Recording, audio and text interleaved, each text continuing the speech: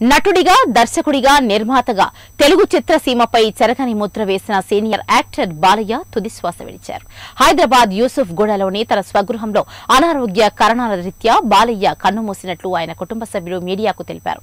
April తొమ్మిది పంతొమ్మిది వందల ముప్పైలో గుంటూరులో జన్మించిన బాలయ్య అదే తేదీన మరణించడం బాధాకరమని తెలుగు చిత్రసీమలో ఎత్తుకు పై ఎత్తు సినిమాతో అరంగేటం చేసిన బాలయ్య పూర్తి పేరు మన్నన బాలయ్య. దాదాపు మూడు వందలపై చిలుకు చిత్రాలలో నటించి తెలుగు ప్రేక్షకుల హృదయాల్లో స్థానం సంపాదించుకున్నారు ఆయన.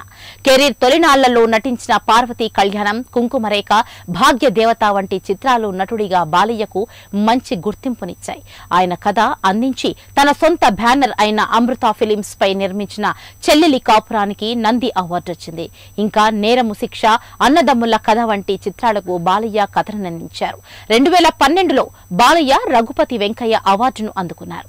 పలు టీవీ సీరియల్స్ లోనూ బాలయ్య నటించారు. బాలయ్యకు ముగ్గురు సంతానం హర్షలత మోహిని లత తులసిరాం రాంప్రసాద్ బాలయ్య మృతి పట్ల పలువురు సినీ ప్రముఖులు సంతాపం వ్యక్తం చేశారు.